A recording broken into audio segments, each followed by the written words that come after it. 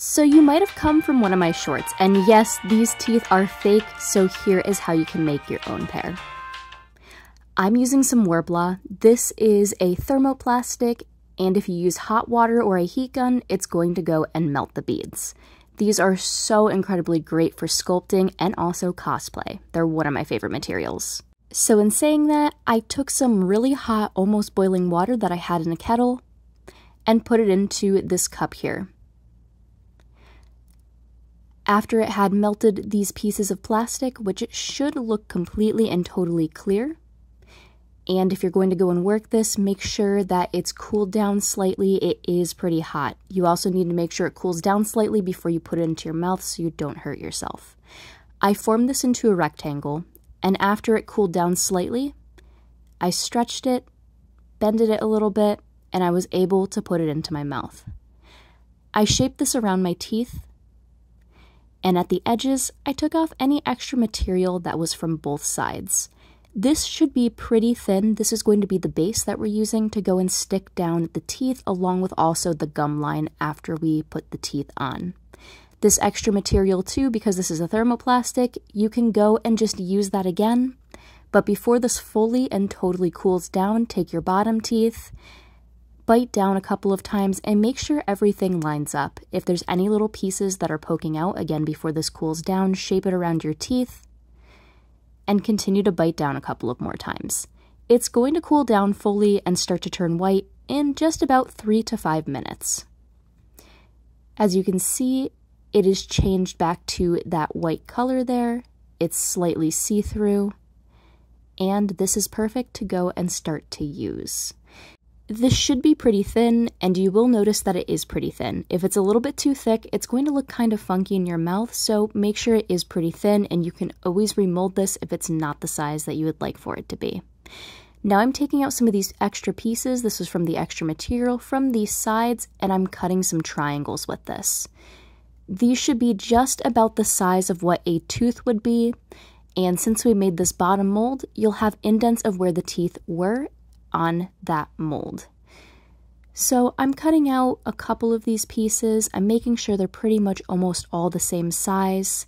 From what I remember, I think I sculpted about 10 teeth for this. I made sure they all came to a pretty good point, and to fully adhere them on, I heated up the end as well, and then stuck it back down in place after all of them were fully sculpted.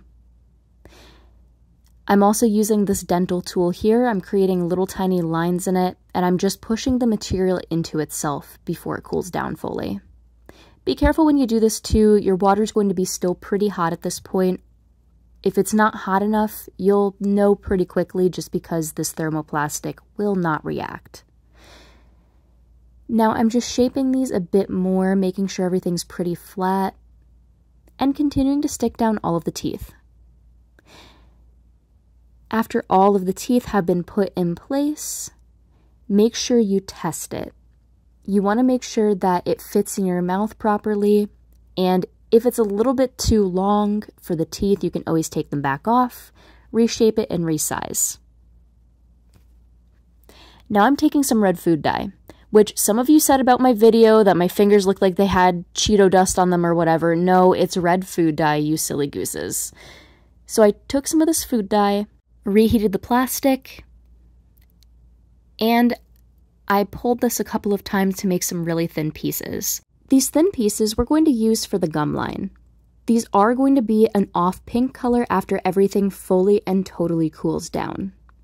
What I'm doing is I'm sticking down these pieces in small sections and sculpting around where the teeth are.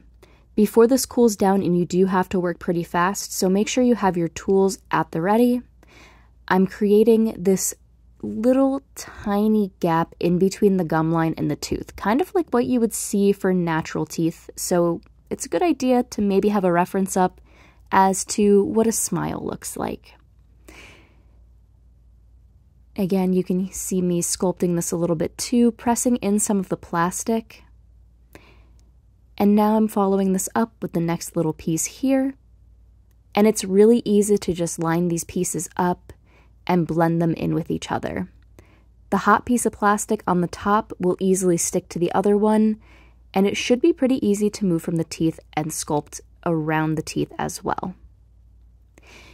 If it does cool down though, you can always take this and dip it back into your water. Just don't dip the entire thing, only the front area very slightly so you can go back and maybe reshape the teeth a bit or reshape some of the gums.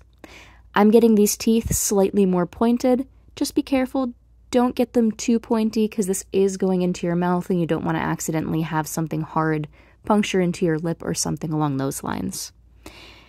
After those are fixed, along with also pointed, then this is pretty much ready to go. Since we heated up the plastic around this, it's going to need just one more dip in some hot to warm water. Let that cool down slightly and stick it back into your mouth. This is going to reshape everything if any of it got slightly misshapen. And you're going to want to leave it in for just about 10 to 15 minutes at this point. This is just so it fully and totally forms, but here are the final teeth. It is also still Shark Week when this video is going up, so happy Shark Week. I hope you enjoyed these teeth. And yes, again, they are of course fake. These fake teeth are great for Halloween cosplay, like Hazbin Hotel, just saying. And they are pretty easy to go and make. Thank you all so much for watching. Make sure to like, comment, and subscribe, and check out the description to go and check out my Domestika course. Have a good one, and bye!